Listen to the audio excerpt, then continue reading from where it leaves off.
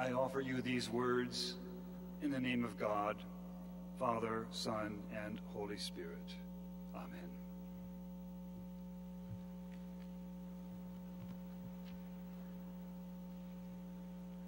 So,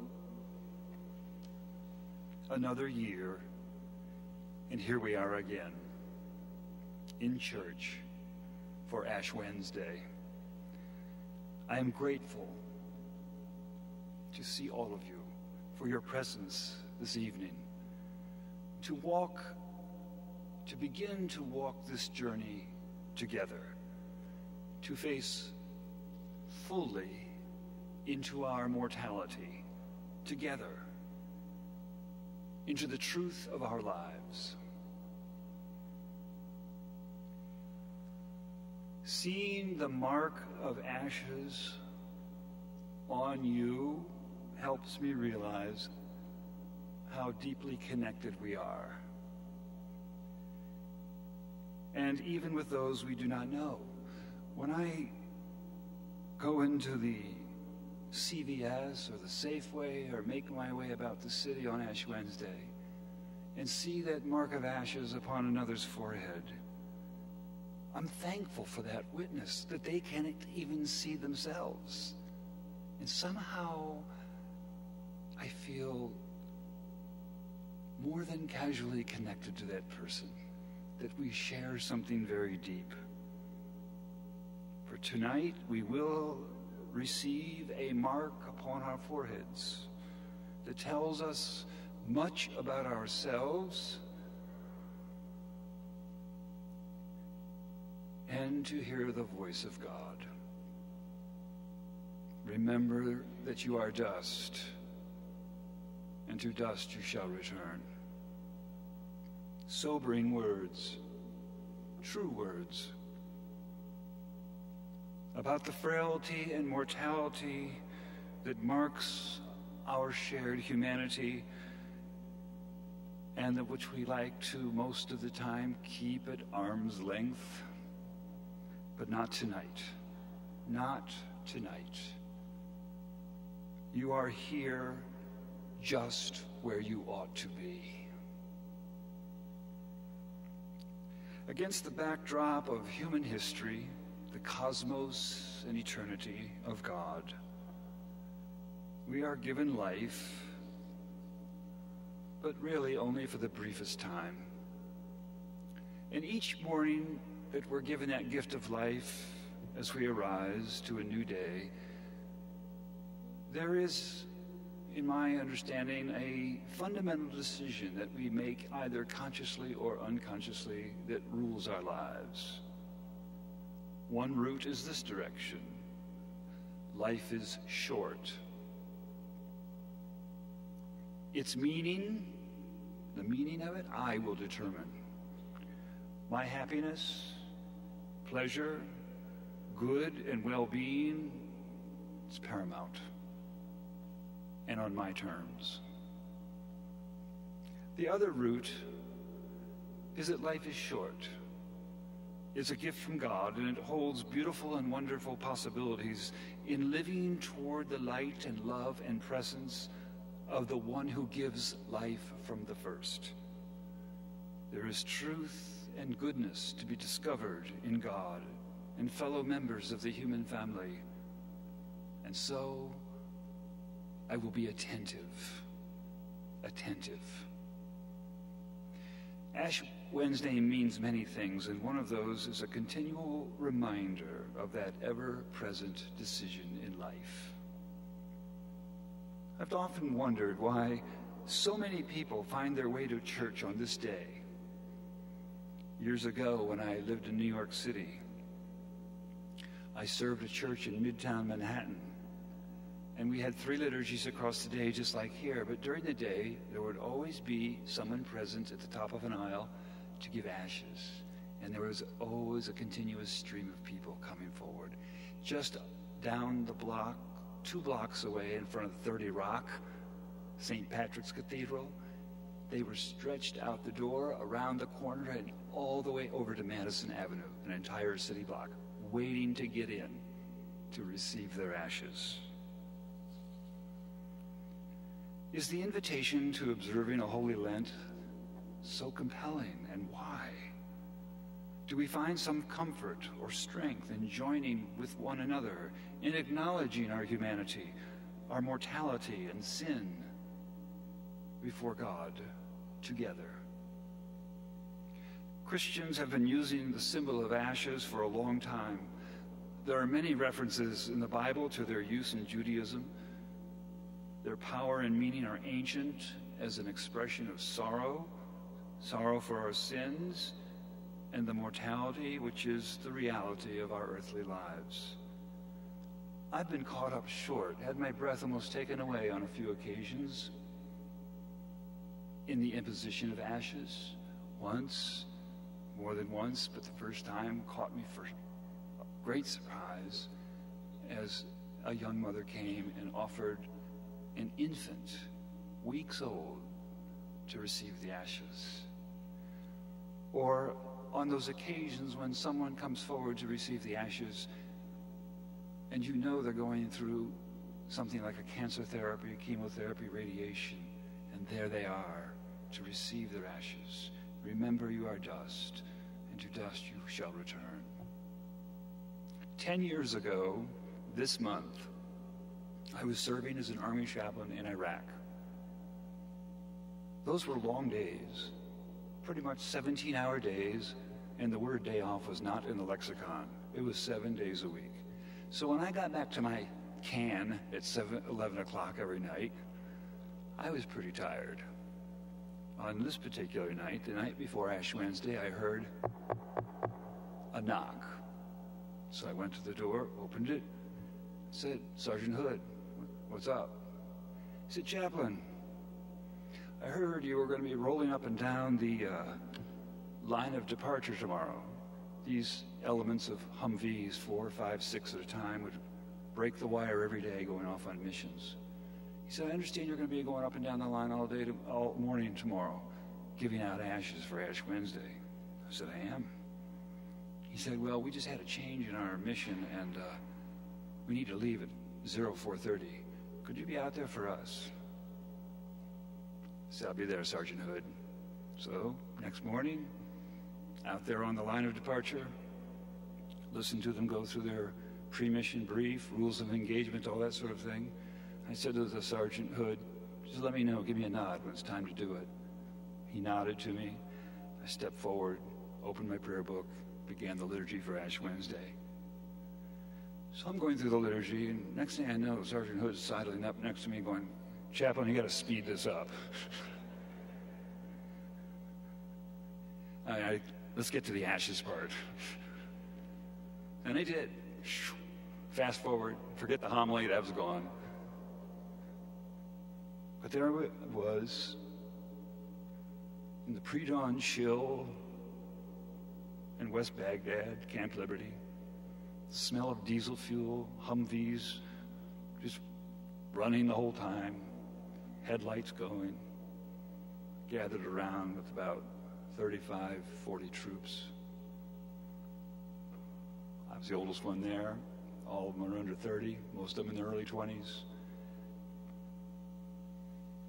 Knowing where they were going, knowing what the nature of this mission was, putting ashes on their foreheads. Remember, you are dust. To dust you shall return. It was sobering, sobering, almost beyond belief for me. The ashes also remind us of the hard spiritual work to be done with God's help in Lent by fasting and works of love and reconciliation. We're called to be faithful and attentive to the one who loves us beyond measure, the one who was lifted high upon the cross that he might draw the whole world to himself. Yes, this mark of Ash Wednesday can take us many places. I think of it as a time for the faithful to look within and get honest about ourselves and how we have turned from God in a thousand different ways. I think Ash Wednesday can also be a point of entry for a new believer, a seeker. Ashes to go are happening across this city. People are caught up short. It's an invitation to begin a journey which we're more than happy to tell them about. I think it can be a point of entry, especially for someone who's carrying huge burdens through life, racked by pain or crushing guilt, or feeling lost in life, and who desires a meaning and a connection to truth and goodness and to a life that is imperishable. I read an article in the New York Times some years ago by Neela Banerjee, and it was about the whole area of making confession with an ancient custom carried into a very new way. The article was entitled Intimate Confessions Pour Out on a Church's Website. An evangelical church sort of co located a network in nine different places. They were offered the opportunity to make confessions online anonymously. The Reverend Craig Groeschel said that after 16 years in the ministry, he knew that the smiles and eager handshakes that greeted him each week often masked a lot of pain. But the accounts of anguish and guilt had stunned him and affirmed his belief in the need for confession. Hundreds and hundreds, thousands of hits came in. We know about confession in the Episcopal Church. We have a general confession on Sundays, but we have the opportunity, if we want, to make a sacramental confession privately with an inviolable trust and confidentiality. It's right in our prayer book, probably one of the most important but underused parts of our prayer book. And it may not be for you, but someday it might be. We have guidance for this. Who should do a private confession? All may. None must. Some should. I have. And I can speak to the power of God working through this sacrament of reconciliation. It really does convey God's love and mercy. About 15, now, now it's about 20, 18 years ago, my daughter Margaret Grace looked at my forehead on an Ash Wednesday and said, Daddy, what's that? I said, What do you think it is? Is it blood? That was sort of the word that covered any injury. No, it's ashes, I said. So as I gathered some things together to return to the office, she looked out the rectory window and saw the parish administrator closing up the church. And she excitedly ran to me and said, I just saw Mr. Glenn outside, and he has a shadow too. He has what? I asked. He has a shadow right here, just like you. Went back to my office. And I wrote that down on a piece of paper. Ash Wednesday, dash, shadows. There's a connection. The shadow side of our lives being that of which we're afraid, ashamed, or overwhelmed in pain or sorrow, where we have long buried memories of thoughts and actions that we want to hide from ourselves and God and anyone else who might learn of them. Too many people spend enormous energies keeping these places dark in the shadows and away from view. Or that shadow can be the voice or voices we hear that tell us why we're not really lovable. Sometimes we think that it is completely obvious to everyone. We become quite adept at guarding that secret that if people really knew who I am, well, they'd find it hard to love me. And that voice comes from as many places and in as many forms as there are human beings. Everyone knows something, sometime, of what I'm speaking. And this God wants to turn around in Lent. God wants us not to hear these voices, but rather to hear his voice. Now, here is something I knew, but I still had to learn, and deeply in more recent years. That God is already in those dark places, those dark and shadowy places of life, and waits for us to encounter Him there, to hear His voice, to see His heart, to turn, to receive His love, receive that love just like one little girl named Mary Ann did many years ago. And this is Mary Ann's story. She writes, I grew up knowing I was different, and I hated it. I was born with a cleft palate, and when I started school, my classmates made it clear to me how I must look to others. A little girl with a misshapen lip, crooked nose, lopsided teeth, and garbled speech. When my schoolmates would ask, What happened to your lip? I would tell them I'd fallen and cut it on a piece of glass. Somehow it seemed more acceptable to have suffered an accident than to have been born different, born this way. I was convinced that no one outside my family could really love me. However, a teacher in the second grade we all adored, Mrs. Leonard. She was short, round, happy, sparkling lady. Annually, we would have a hearing test. I was virtually deaf in one ear, but when I had taken the test in past years, I discovered that if I did not press my hand as tightly upon my ears as I was instructed to do, I could pass the test. Mrs. Leonard gave the test to everyone in class, and finally it was my turn. I knew from past years that as we stood against the door and covered one ear, the teacher sitting at her desk would whisper something and we would have to repeat it to her. Things like, the sky is blue, or do you have new shoes? And now all was quiet. I stood perfectly still and waited for those words. And then Mrs. Leonard began speaking words which God must have given to her. Those seven words that changed my life. Mrs. Leonard said in her whisper, I wish you were my little girl.